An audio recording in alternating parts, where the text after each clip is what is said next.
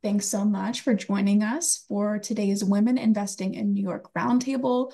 We are excited to celebrate Women's History Month and foster growth of women's representation in startup investing. I see a lot of familiar faces, but also a lot of new ones as well. So to introduce myself, my name is Katie Hester. I'm the Investor Network Manager here at Launch New York. And today we're going to kick off our discussion interactively with a poll.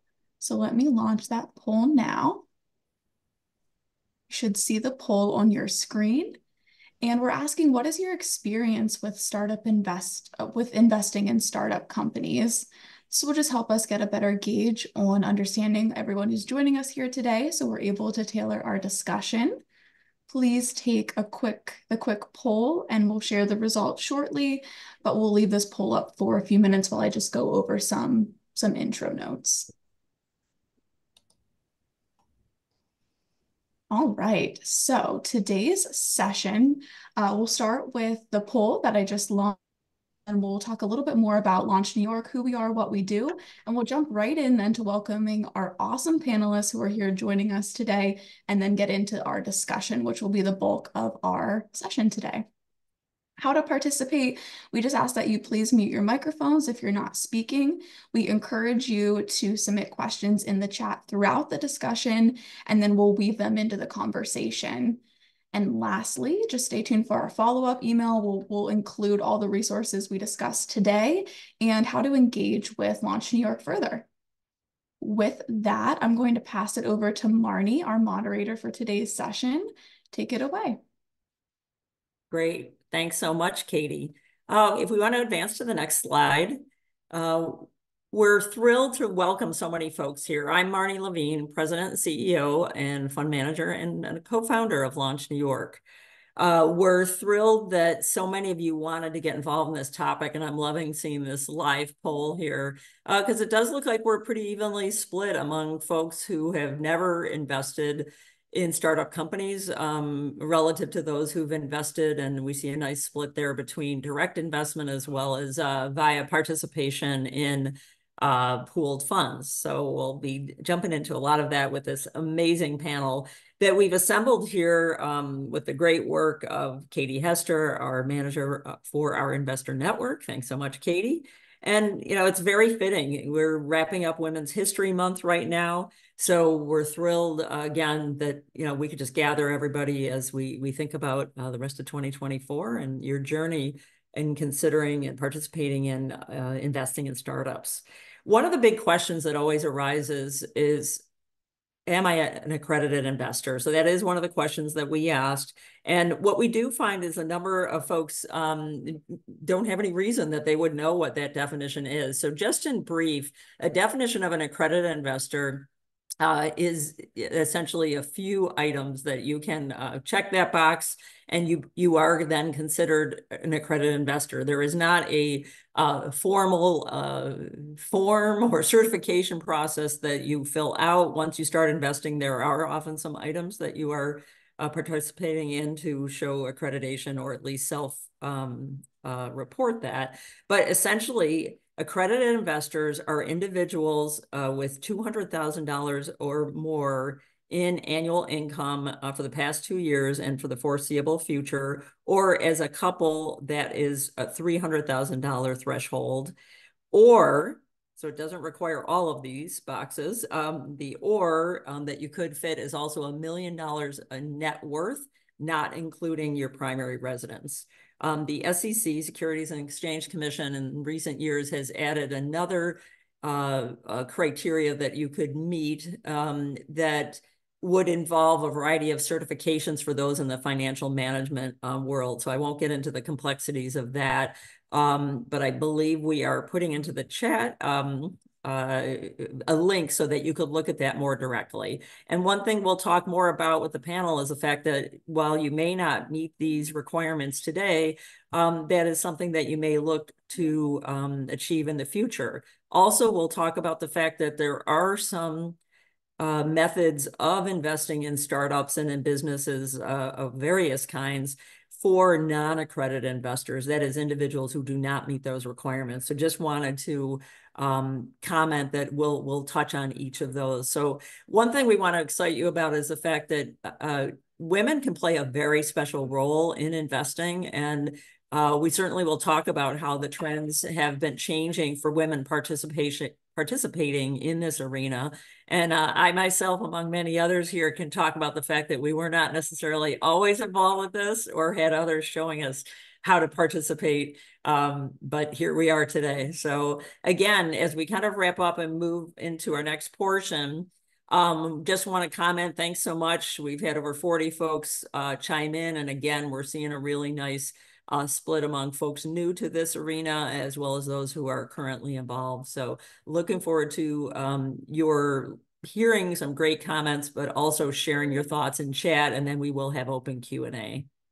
Okay. So just a quick, uh, uh, hopefully, a quick process just to let you know about Launch New York, since I think a number of folks are new. I, I see many familiar names and welcome to all of you. Um, but wanted to note that Launch New York has been around for over 10 years now as the most active uh, seed fund most recently in New York State in terms of volume of transactions. We operate uh, traditionally in the western half of New York State, but I'm pleased to tell you that more of our state has great innovators who want us to support them with our mentorship and seed capital. So we're not only uh, headquartered in Buffalo and serving Rochester, Syracuse and the southern tier and all the urban and rural areas, but also we are now expanding eastward into the Albany area. So really looking forward to that.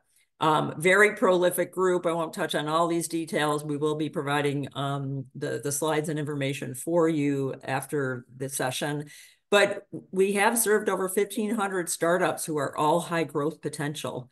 And so when we refer to startups, we are talking about companies with uh, revenue capability or at least a vision toward 10 million in annual revenues by years five to seven, even if they have, and usually do, only have uh, limited or maybe no revenues when we start working with them.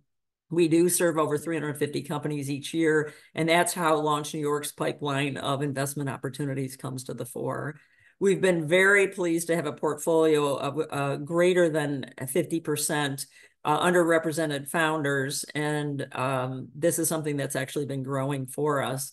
And in fact, given our mission to serve uh, under-resourced areas and under-resourced entrepreneurs, we are pleased that over 70% of our companies are located in low to moderate income areas, which has actually mm-hmm. qualified us as the only venture funding community development financial institution serving uh, and investing in uh, companies in New York State. So we've put out over $12 million in 94 companies since we started investing in 2016. And that has actually had a huge leverage effect in it, helping our companies attract an additional 30X from other funders. So how does this all work?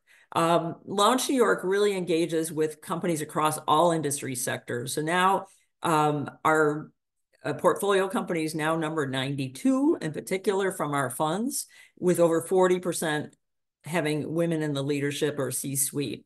And they have, in fact, actually received over 45% of Launch New York's capital. So these companies range from consumer products, uh, most recently a, a plant-based uh, milk company led by a Black woman founder called Edenesque. We just made that investment um, last Friday. Um, all the way to intellectual property intensive companies um, in climate tech and med tech and other areas. Next slide. Great. So uh, where do we play? Like I said, often little or no revenue. So we're typically working with these companies in what would be known as the pre-seed and seed stage and a few into the, the series A.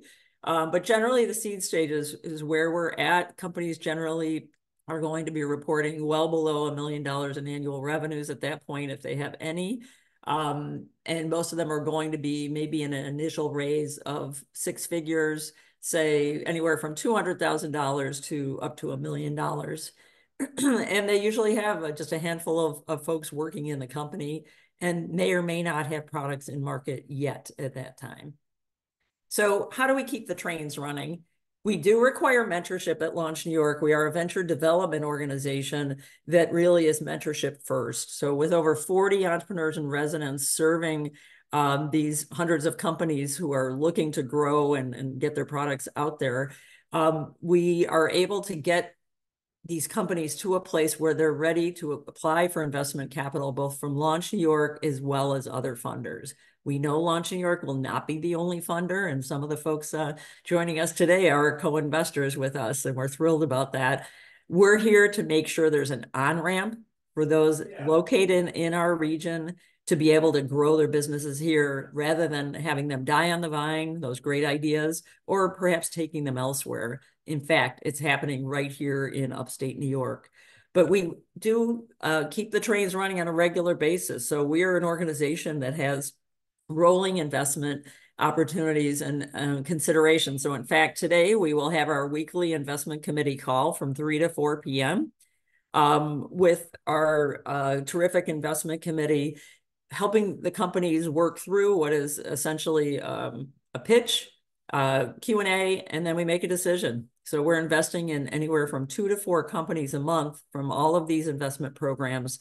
I won't go into great detail other than to tell you that um, we have over 400 accredited investors involved in what are pooled funds, as you know, LP Fund 1 and 2, as we call them. But then we also have deal by deal investor network that Katie manages. So we really are trying to meet investors where they're at. And many of our investors also actually get involved in the mentorship um, as well as participating, uh, of course, on the capital side. So we're thrilled to be able to provide what is, uh, frankly, one of the most unique arrays of financing programs targeted exclusively at funding companies in upstate New York, uh, one of the most unique in the country. Okay, let's move on to the good stuff. Um, I, hopefully this gives you a bit of a background to the fact that it really does take an entire community of investors who are excited to be participating at various levels. So we're thrilled today to have um, I, I just an incredibly accomplished panel. Um, Elisa Miller-Out, founder and managing partner of Chloe Capital, and wonderfully a member of Launch New York's Investor Network. Juliet Lawrence, a member of Gaingels, Houston Angel Network, and Launch New York's Investor Network, as well as an entrepreneur in residence for Launch New York, which Elisa Miller-Out has been as well. Um, and I am incredibly fortunate that Maggie Dorn, venture partner at Motley Fool Ventures, is also on the Launch New York board. And welcome to Mary Grove, managing partner for Bread and Butter Ventures, also a co-investor in a Launch New York portfolio company and Holly Hubert, CEO of Global Security IQ and a member of Launch New York's Investor Network. And a little tip that you'll hear about soon, also a former um, FBI in based in upstate New York. So we are truly bringing a very diverse set of folks to the table here. So next, what I'm excited to do is actually let you hear from these amazing uh, panelists here who bring such a wealth of not only knowledge, but uh, very diverse backgrounds to how they got involved here. So what I'd love to do is actually ask each of the members of the panel to, uh, you know, to talk to us with a brief introduction. But let's uh, let's combine your introduction with your um, uh, affiliation, of course, but also your current involvement with startup investment investing um, your investment thesis and, and how that thesis has uh, tied you to New York State startups. So I will offer it up to who, whomever on the panel is excited to go first. I'm happy to go. Uh, thank you for the intro, Marnie. Um, you know, as you mentioned when you were walking through the panelists, um, I'm on the board of Launch New York, and it really is one of the um, greatest resources for capital for the 27 most western um, counties of New York State. But beyond that, you support startups that are all over New York State through um, just you know the message and the education programs that you you and the team have been putting out there. Um, but so yes, I'm Maggie Dorn. I'm actually located in Buffalo, New York, but I've been working for a company that's headquartered in Washington, D.C. I serve as the chief network officer at the Motley Fool, which is an investing and financial services company that really helps people around the world achieve financial freedom through investing. Um, the Motley Fool is predominantly known for investing in the public markets, but uh, we actually launched a venture fund back in 2018 where I serve as a venture partner. Um, Motley Fool Ventures is a sister company of the Motley Fool, and we are a traditional venture firm where we have LPs, investors, and we invest on their behalf in, in really exciting startups. Um, I, I as, as a venture partner, I help with deal flow, I help with uh, fundraising, portfolio support, and you know anything in between. Um, and then, as I mentioned before, I serve on Launch New York, which has really been um, an incredible experience over the last, I think, five years or so. Um, Marnie and the team have done a tremendous job in um, growing the venture ecosystem in Western New York. Thanks so much, Maggie. And uh, again, we're thrilled that uh, one of the companies we're featuring on our investor network right now, uh, uh Motley Fool is uh, an investor in that company. right on. Right here in upstate New York. So yeah. thank you for that. And I probably should um, continue with the second part of that question. I apologize. I, I took right. a pause. But um, as I mentioned, we, we invest in early stage startups um, at Motley Fool Ventures. Um, but we're typically the stage right after Launch New York. So after they've raised their what's called a seed round, um, they go on to raise their Series A and beyond rounds. And that really is um, a point in the startup's life stage where they're, they, they have a great um, business, they um, understand the model, they have a, a um, group of, of repeat customers, and they are really looking for growth. Um, so we invest typically at the Series A and Series B stages um, with room for follow-on, which means future investments in that company. Our general investment thesis is around digital transformation of business.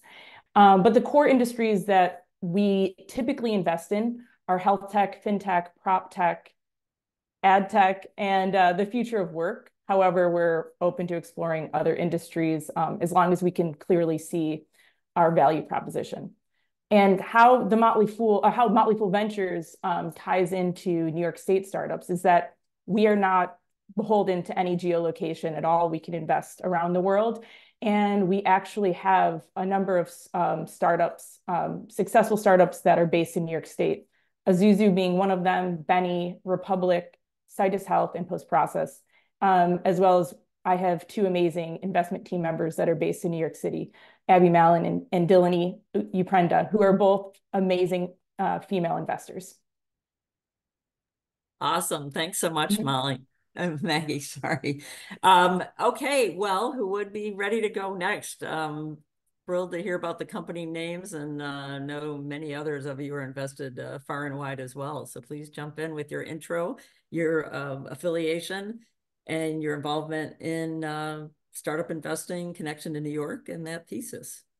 I'll, I'll go for it next. Marty, thanks so much. Uh, I'm Elisa Miller Out, uh, managing partner at Chloe Capital. I am based in Ithaca, New York. And yes, proud to have multiple connections to Launch New York. As Marty mentioned, I was previously an entrepreneur in residence there, also part of the investor network, which is awesome, and also a co-investor uh, with several Launch New York companies. Um, in fact, some of whom were on the call. So like shout out to ShearShare who's on the call here today. It's both uh, Chloe and Launch New York uh, portfolio company and see some other great portfolio companies in the call here as well, like My Wellbeing. So shout out. Um, thanks for joining today today. And then um, a few other quick hats I wear, and I'll give a little bit about my background and the thesis at Chloe Capital. Um, I'm also a, I serve as an advisor um, with New York State, with the with NYSERDA, the New York State Energy Research and Development Authority, where I work on a program for startups called the Climate Justice Fellowship that also serves other types of climate tech organizations. But but for the investors and startups on the call, you can also participate. Um, so you can check that program out as well. And then also I serve as a mentor with the National Science Foundation and the Innovation Corps program, and as an entrepreneur in residence with Cornell University uh, here in Ithaca as well. Um, so a little bit about my background. I am an entrepreneur, an investor. Um, I'm a mother. I have two amazing daughters and my two dogs as well, who are my sons. Um, and I am also an ecosystem and community builder. Um, my earlier career included over a decade as a CEO and co-founder of a global software services firm um, with several software product spinouts as well. And I've founded seven companies at this point, and I've built a portfolio of 65 companies that I've invested in, both as an angel and a VC. Um, and I've overseen 12 M&A transactions across that portfolio, including a recent $100 million exit. Um, and, um, and of course, I'll talk a little bit about Chloe Capital and our thesis as well, and our focus on New York State as well. So Chloe Capital is an investment firm that invest with a mission of inclusive ecosystem building at scale. Uh, we do invest all across the country, and we also operate accelerator programs in over a dozen cities around the US. We do have a very strong New York State presence. We're both headquartered in Ithaca, New York. Uh, we have team members all across New York State, including in Buffalo and in New York City, um, in addition to some team members in other parts of the country as well. Um, and then we also have about 35% of our portfolio in New York State as well, just due to our uh, significant presence here. And then our accelerator programs have, um, have taken place in Rochester, in Binghamton, um, in Ithaca, as well as um, in New York City. Uh, we have a program active right now. Uh, so in fact, you can join us if you're heading to the city. You can join us on May 30th for our showcase uh, for that accelerator there.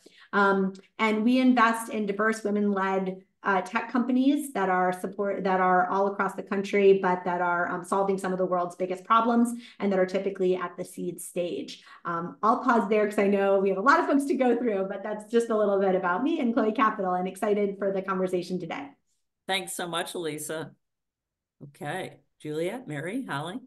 I'll, I'll go next. Sure. Um, hi, everyone. My name is Juliet Lawrence. I live in Houston, Texas. So thank you, New Yorkers, for allowing me to to jump in on this call and, and join the conversation on this very important topic. Um, as was mentioned, I am an angel investor and I'm a member of a lot of different networks um, just to help me get a lot of deal flow and to learn from more experienced investors. So, Houston Angel Network, Angels, Cap Table Coalition, Institute for, for Entrepreneurial Leadership. Um, and I also serve on a couple of committees uh, for the Angel Capital Association. Um, got my undergrad at USC in something that I, I don't even do right now, right? got an MBA at U of M uh, with a focus in finance and strategy. And after I graduated, I spent 10 years working in um, corporate finance in various areas. I was in treasury, strategic planning, um, business finance, and even had a short stint in executive compensation. Um, my last role was as the finance director of chloralkali vinyl um, uh, for, for Dow. So a lot of finance experience. So that actually translates into my investment thesis, or I would say maybe my investment process. So I've been an angel investor for a little over a year now. So that thesis, that the way that I invest is still evolving. Um, but I will say I would uh, look at the way that I invest as being industry agnostic. I'm geographically, ge- uh, geographically um, agnostic as well, which is why I've invested in, in New York companies, California, Houston companies. Um, I'm really looking for a product that is that resonates with me as a consumer or with me as a professional, as a finance professional, or someone that has been in the chemicals manufacturing industry for um, over 10 years. I'm looking for a business that is scalable, that will produce a large return on investment. Because let's be honest, you know, in addition to supporting uh, founders through coaching, through through um, financial investments, we also want a return uh, on on our on our deployed funds. Um, lastly, I'll say what I've found now, I'm, I'm starting to also focus on um, the founder, their passion for uh, their business, and also their attention to the financials, because I spent 10 years there and I want to hear about profitability and, and revenue and growth and things of that nature.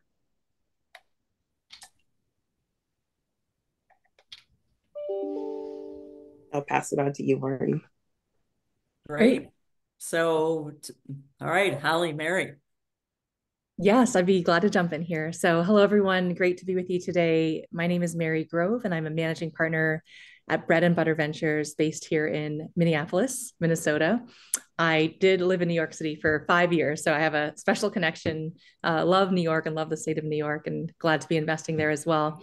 So, quick bit about Bread and Butter Ventures. So, we are a seed stage focused firm based here in Minnesota, invest all across the country and we really lean into our location as our core advantage so we lean into we call the minnesota home field advantage is investing in the core sectors of healthcare the food system and enterprise SaaS more broadly because Minnesota is home to the highest concentration of Fortune 500 companies per capita in the nation, in particular in those sectors.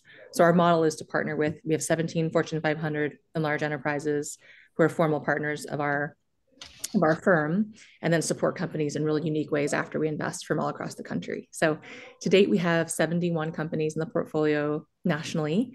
Of those companies, half of them are led by female founders. Uh, 60% of them six zero have a founder who's a person of color and really passionate about trying to democratize you know the playing field for who has access to capital and within uh, new york we have a number of, of companies as well uh, pleased to see courtney and dr ty of shearshare here a shared portfolio on the call. We have uh, better mind a company called GenCove as well and really see a lot of innovation happening truly all across the, the country. And so we are focused on that seed stage zero to one. You know average ch- check sizes is half a million to a million dollars and really love to partner with companies in that zero to one stage of, of a business. Uh, in terms of personal background so i've spent the last two decades focusing on early stage tech uh, and, and early stage investing so i was at google for the first 15 years of my career which was an incredible uh, experience i worked on the ipo deal team when the company went public in 2004 then did early stage product, uh, biz dev, and emerging market expansion for about six years, which is the skill set that I apply most closely to working with portfolio companies after we invest in that commercialization go to market. And then my last six years, I built the Google for Startups organization, which is the company's umbrella for looking at you know how to invest and support startups directly, but also startup ecosystems. And so, really, really passionate about early stage and this notion that you know innovation is happening in all corners of the country and the world, not just the coastal hubs, but there's really an opportunity to bring more capital and bring more accessibility. So I'm also a mom to seven-year-old boy-girl twins who are the the highlight of my uh, of my world, and I'm really active in our communities too with respect to uh, philanthropy. I serve on the boards of the Bush Foundation, the Minneapolis Foundation here in town, again around that theme of accessibility to capital and to uh, to resources. And so the perspective I bring is both uh, as a venture investor, managing a, a, firm, but also as an angel investor too. So thrilled to be part of the conversation. Boy, I love hearing about uh, the many, many roles that make up who you are today and just hearing, okay, there's many places that your themes of who you are come together. So we'll we'll talk about that more in a minute. But I want to turn it over to Holly to wrap up this first inquiry. Tell us about yourself and uh, the investing thesis, Holly. Well, well said, Marnie. Um, I'm very humbled to be with such an esteemed panel. I've enjoyed listening to everyone's background. It's truly amazing. So I look forward to getting to know all of you. Um, I think Marnie mentioned that I'm a retired FBI agent. I'm actually from Western New York, but I was pretty lucky to be sort of all over the uh, the country. The FBI is a global organization, and before I got in, I was uh, a, a systems engineer at a big computing installation. And so I was lucky to be in on the ground floor of cyber when that was becoming a crime, uh, maybe 10, 15 years ago. And so in retirement, I think it was natural for me to found, a, I, I only ever wanted to be an FBI agent or have my own business. So I'm lucky to have uh, started my own business on cybersecurity, which has been really fun and uh, the the company's based in New York. But like the FBI, my clients are really all over the world. I have a lot of national uh, contracts, and so I meet a lot of interesting people, and that's really how I got in, uh, started in investing. And then I, I've, I've weirdly known Marnie for 20 years, and then I bumped into her again in the startup ecosystem, and uh, was very proud of the work she's doing in Launch and so I, I got involved with Launch to complement some of the other investments that I've been doing really out of state. And uh, um, I love the investment thesis overall of Launch in that almost half are uh, minority and up, underrepresented female founders. And so I think that's amazing. And it lines up with me wanting to give back to Western New York. You're up and down the thruway, Marnie, and I'm, I'm very impressed by that. And so my my investment thesis is maybe just a, a, a, hair different because I don't know if it's ADD or what, but I'm just interested in everything. So for me, I want to know first, does this organization creatively or innovatively solve a problem that I'm interested in? And so if I think they solve a problem that interests me, then I'm then I'm interested in listening to how they go about it. And then I have to look, the FBI agent will always be with me. I have to look at the people and the invest in the and the team that that make the company up and do those do those horses, so to speak. Can they get it done? And so I'm always looking at their um, ability to take feedback. Who are they working with? Another great thing about Launch is Launch uniquely provides a mentor for uh, uh, founders and teams. And so I think that's amazing. Does does that does that uh, founder system have a network to help them get started? And then I um I I rent space. I have nothing to do with UB, but I rent space from the UB Foundation. So they seem they're the the Center for, for Entrepreneurship here at, at UB. They send all these kids to me. So I I get a lot of I hear a lot of interesting ideas. And so I'm always I feel good about giving back and helping mentoring some of these. They're not just pre-stage or C stage, they're no stage, but they have an idea and so I help them like early, early, early find Marnie and others. And so that's just fulfilling for me to give back. Thanks so much, everybody, for the reflections here. So, I, given that we have so many participants today who haven't invested yet, I think um, that moment or that period of time or that step in your journey where you move from not being an investor to being an investor is really an important one for people to reflect on. And some of you have touched on it a little bit, and I'll I'll, I'll maybe kick off this portion to note that I I was not.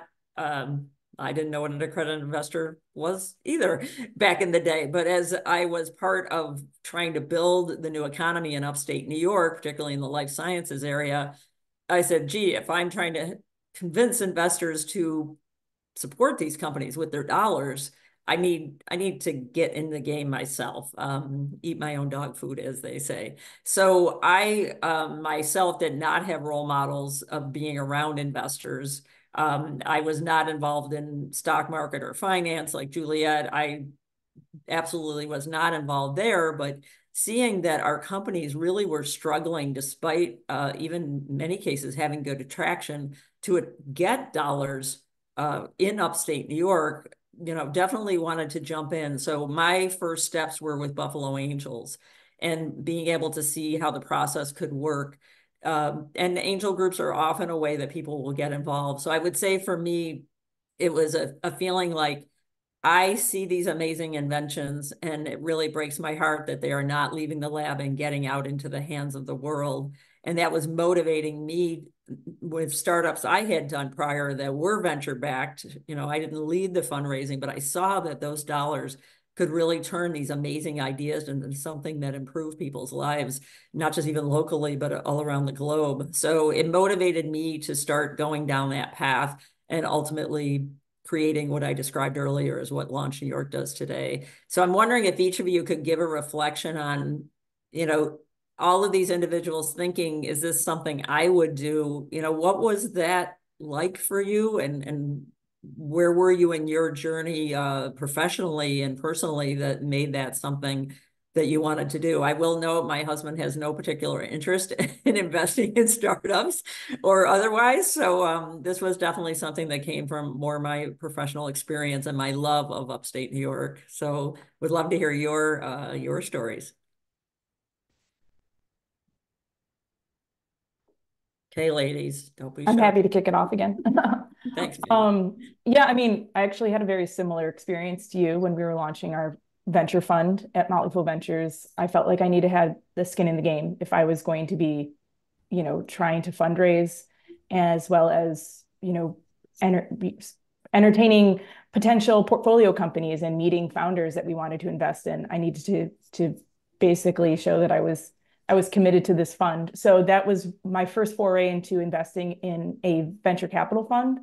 Um, but kind of like, you know, bigger picture, so much has changed since 2018 in terms of accessibility for people.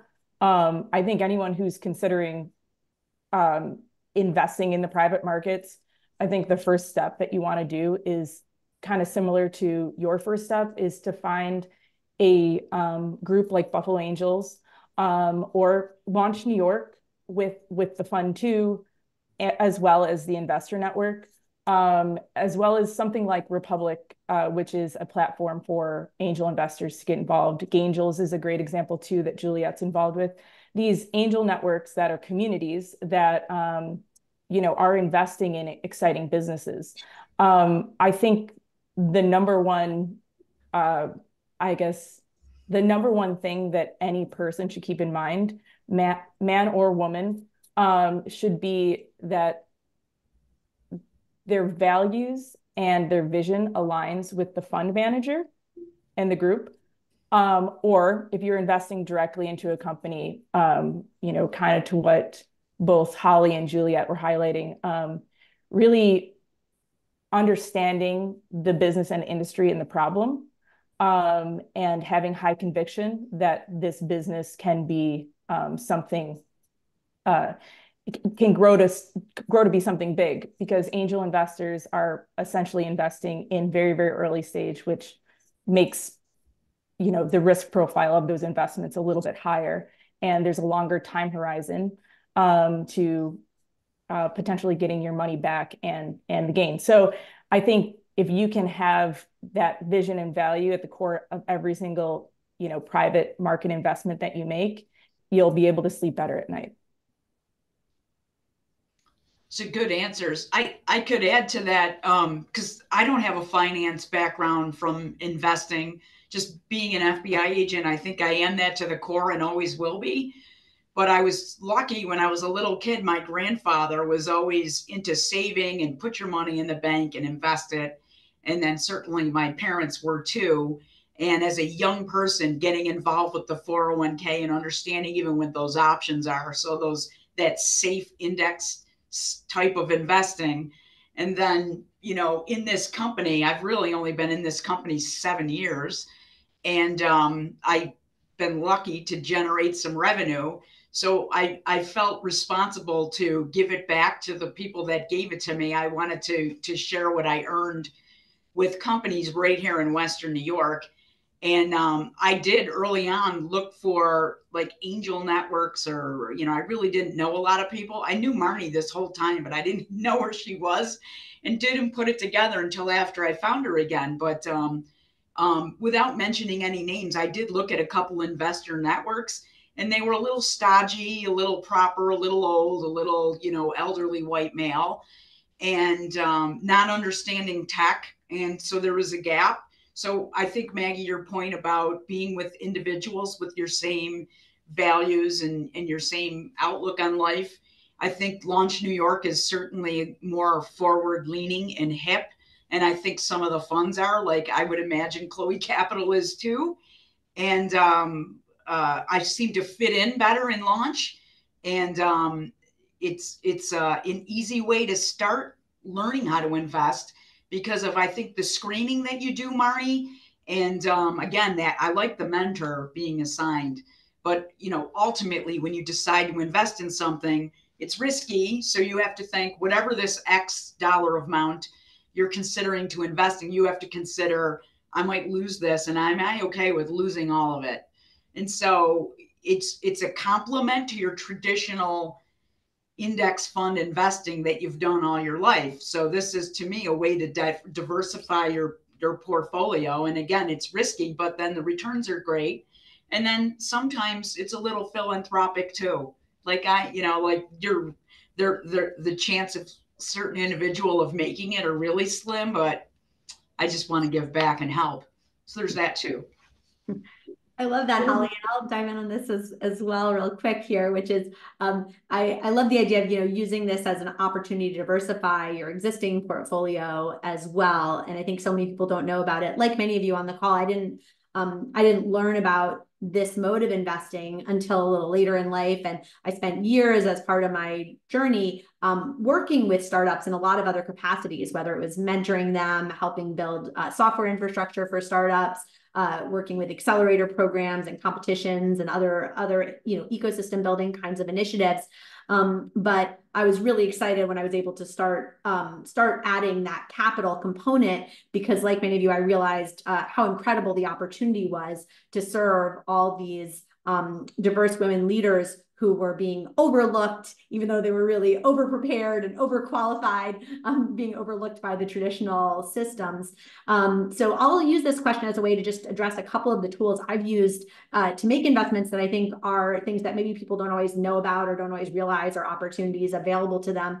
Uh, so one is that I started in my kind of investing journey as an as an angel investor doing a couple things. One was equity crowdfunding uh, campaigns. So that's one opportunity open to both accredited and non-accredited investors on platforms like Wefunder republic StartEngine places like that where you can go and actually just invest a few hundred dollars even if you're a non-accredited investor but you can still start getting involved in that startup journey right um, and, and actually getting returns if some of those companies end up doing well um, another thing i started doing was using my self-directed IRA to make investments um, directly into startups. And that's something not everyone realizes either is that you can use some of that money that's just sitting there in your IRA that you might have all invested in the public stock market. Um, while I wouldn't recommend anyone put all of their money into startups. It is still a very high risk, high reward kind of category. But um, but a good rule of thumb is, you know, anywhere from maybe 5% of your portfolio or something, money that you can definitely afford to lose um, should absolutely be going towards uh, privately held companies um, if possible.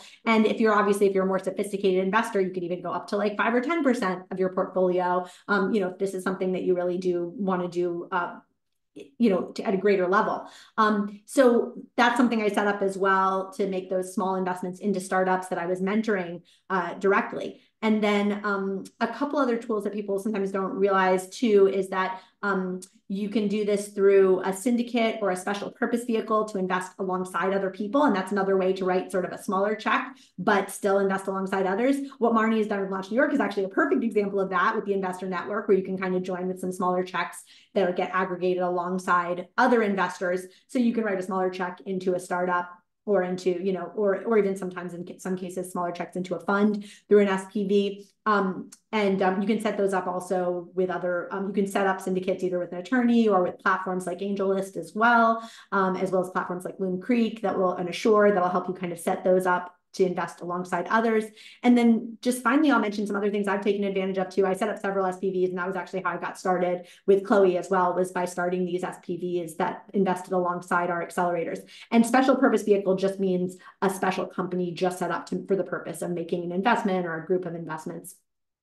Um, and then um, donor advised funds is the final thing I'll mention here really quickly because uh, we were talking about kind of opportunities for accredited and non-accredited investors. And this is another place where people don't realize they can invest is through using some of your philanthropic capital as well that you might be setting aside to. There's many, many women are very philanthropically minded. They are, you know, actively donating to nonprofits and charities, involved in boards.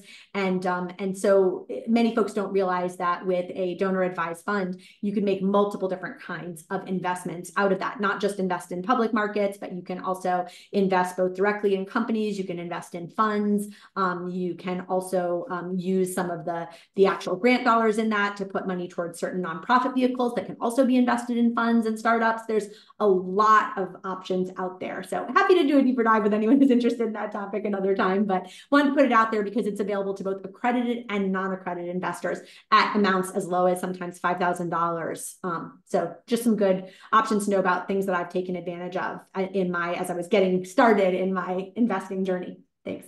And two quick questions in the chat that perhaps we can weave into our discussion while we're talking here. One is from Katie, which is what industries are you seeing the highest request slash growth? Uh, she is most interested in financial and healthcare sectors. And then there's another more note in the chat about curious about AI driven startups and in initiatives or investment opportunities there. So we'll just weave them in.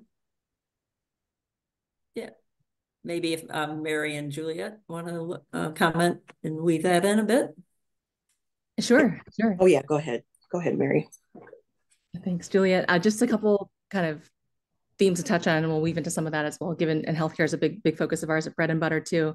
I think on the investing side of you know why venture, what was the personal journey, really being involved in it from the periphery at a big institution. It's thinking about the the urgent need for systems level change in the venture industry, right? Growing up and working in Silicon Valley for so long, there's so much magic to it. And there's so much about the industry that you know, we really need systems level change. And if you look at the fact that, you know, women represent 80 plus percent of the purchasing power, healthcare decision making in households today, yet when you look at the who's allocating and who's receiving capital, it's totally flipped, right? So we see that the data from the Harvard Kennedy School showed recently that 11 only 11% of allocators at venture firms are female. And you look at who's receiving funding, right? 13% of venture capital dollars go to companies led by that include a female founder. If you narrow that lens to specifically exclusively female run, that number drops to 2% of venture capital dollars, right? So we have this incredible gap between the opportunity gap. And we know that the tidal wave of change that happens when women fully participate in the innovation economy is extraordinary. And so one of the things that you know, I was really motivated by working at some of these large platforms, um, getting in the game directly to try to be a part of that that transforming that entire stack of the venture industry. And so um, I think a couple things to think about, you know, from a from an angel perspective, though, if you're looking at getting involved in investing for the first time, it's a really exciting, high risk, high reward asset class. And you know, keep that in mind as well. If you are not yet an accredited investor or you know, knowledge is power. So I'm really glad that you're in this conversation and conversations like these. Think about getting involved with accelerator programs, going to demo days, rolling up your sleeves, right? Mentoring companies, maybe joining some of them in advisory capacity and getting equity that way, and really building up your uh, portfolio, so to speak, even a theoretical portfolio initially of what would I be doing? What would my thesis look like? How would I uniquely add value? How would I source deals that I would invest in?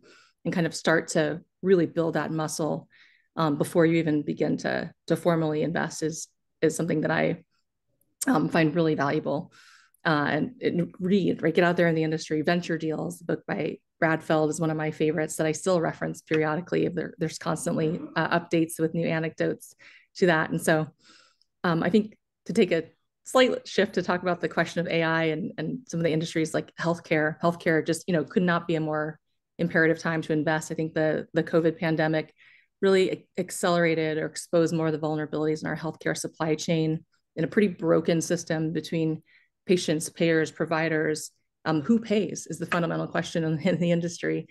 And what we saw in 2020 and 2021 was a massive influx of funding going into digital health, right? 3x the, the average um, that we had seen before. And sadly, a lot of that funding is now pulling back. And so if you look at the, I don't know the exact latest numbers I need to pull up, but it's roughly $28 billion of venture funding was the peak sort of four years ago. And last year, we ended the year at about $10 billion of funding into the digital health category. And so we're seeing a, a, it's tightening up in terms of companies getting access to funding, but the need is as urgent as ever. And so we continue to see uh, strong players in that space do really, really well, but it is a tight capital market in, in healthcare. Thanks so much, Mary. Juliet? Sure. Um, I, will go next with uh, speaking about my investment journey. And I feel like I'm uh, probably going to be the odd man out here in, in my journey in that. Um, it started decades ago, and I really started from zero. I didn't know much about any type of investing, let alone uh, uh angel or, or, private investing. And so I started with uh, learning through community college courses, reading books um, about just investing in general what's the financial world and, and started uh, investing in public markets uh, didn't have much. I started right after college. And so I was putting in maybe, you know, $25, $30 a month um, into ETFs and then eventually uh, individual companies.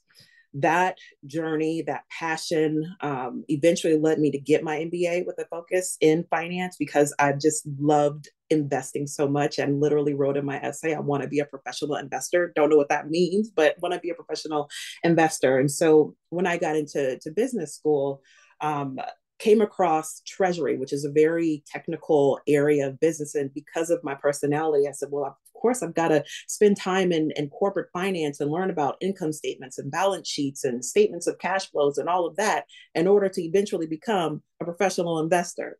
Uh, my second role in, in corporate finance was with our pension group, and they we're deploying a lot of capital, uh, several millions of dollars, into alternative investments, which uh, private equity and venture capital, these types of investments fall underneath.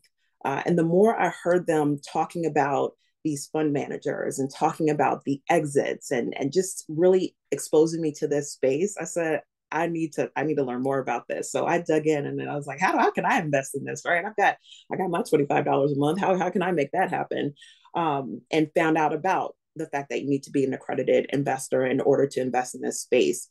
From that point I, I dedicated a significant amount of my own personal time to learn about private investments, to learn about what it takes to become an accredited investor, really focused on getting my career to a point where I would qualify as an accredited investor. And when I saw that I was getting close to that point, because I have a spreadsheet and I, I track my my numbers every month, I decided that I wanted to get some some targeted education and exposure to learn how to invest in this space once I became eligible. So I joined programs like Black VC, which is an intensive two-week program that teaches you things like what's a cap table, um, you know, what does it mean when you talk about, you know, just valuation and things of that nature.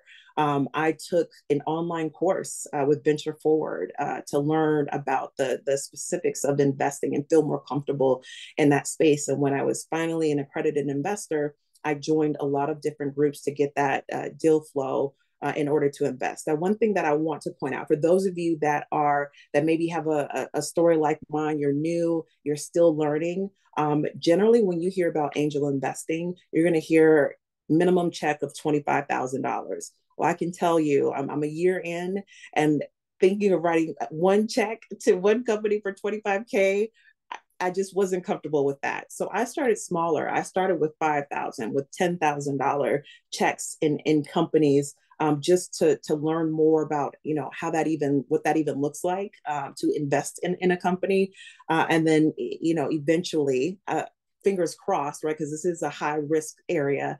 I'll be moving into that space where I'm, where I am uh, writing bigger checks. But for me, focusing on that education, getting comfortable, and then just jumping in there really appreciate the comments and um I, you know we're going to be hitting the top of the hour and i can see there's lots of questions um, we will be putting resources into the chat here. Um, Angel Capital Association has full-on courses if you really want to make a, yourself a student of this.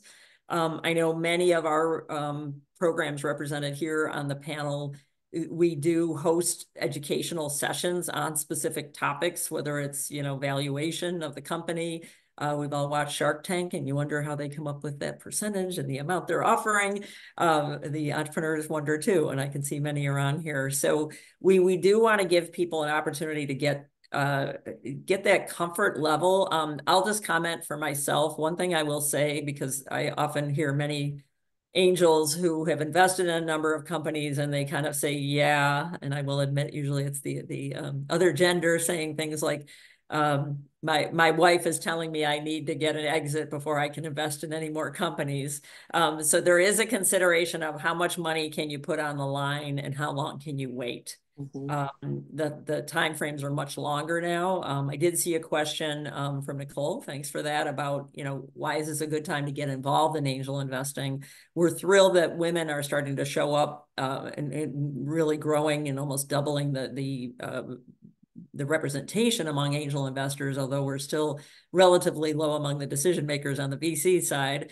Um, but I guess I, for myself, I think that there are groups like this now that are giving you alternatives. It, it used to be sort of the traditional angel group made up of the same typical group of financial industry folks um, where you're not necessarily comfortable. And I think Holly said that. Where are you comfortable? Because you are learning and you're side by side with people and looking for people you trust. And you also have to decide for yourself how much money can I risk and how much do I want to learn? Do I want to know all the details or do I want to trust others, you know, to help make some of those decisions? So that's why having both options for direct investing as well as funds, I think really is a good thing for you to have available.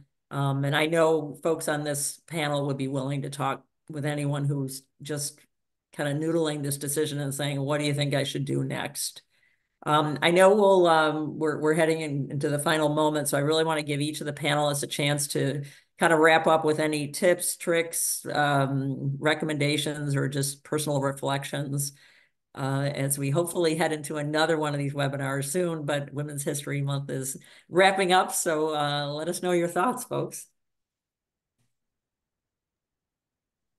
I will kick off this section again. Um, so there was, when I was preparing for this uh, webinar, um, I was thinking about this, you know, I'm sure everyone here today has heard about this massive wealth transfer that's about to happen. Um, $68 trillion in wealth is going to be transferred in the next year, in, in the next decade. And apparently, according to experts like McKinsey and others, the a majority of this wealth is going to be in the hands of women. These are either widows or um, heirs that are, are, are going to be inheriting um, a massive amount of wealth. When I think about that, you know, um, obviously it creates a tremendous amount of opportunity for women to invest more, not just in the traditional equities markets, but also in alternatives such as private market investing. And I feel like the onus is on not just the potential investors and the women out there to really understand angel investing and investing in funds as well, but for the fund managers, the VC fund managers, and the founders of these companies to really understand their potential investors and LPs, um, to understand their time horizons, again, to understand their values, um, you know, what's important to them, um, the the vision that they have for for the future world that we're creating because that is essentially what we were doing when we were investing in founders and these startups is creating you know the, the future that we envision and supporting it through through our dollars. Um, so i mean I, I i was just thinking about how we're so focused on you know the investor and really i think the fund manager and the founders have um, a really great opportunity to to truly understand who they're this this emerging group of um, investors are over the next 10 years. I'll just share another quick thought here as we wrap up as well, which is um, at Chloe Capital, we really talk a lot about what we call the founder to funder journey, which is all about um, you know having founders who then go on to have these um, bigger multi-million dollar and billion dollar exits, and then really those founders who are going to turn around and pay it forward to the next generation and uplift the next generation of women leaders.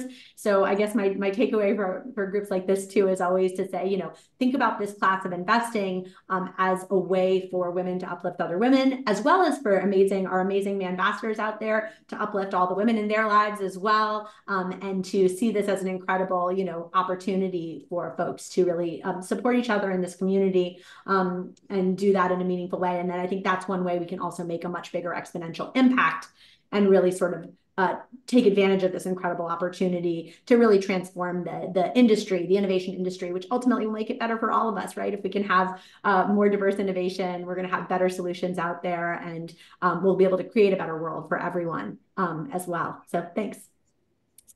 Awesome. Uh, one Julia? thing I'll add is Mary? that, sure, one thing I'll add is that uh, there are many studies out there that show uh, they focus on the public markets, but they show that women get better returns than men, right? and I cannot help but, but believe that that translates into you know the private markets as well.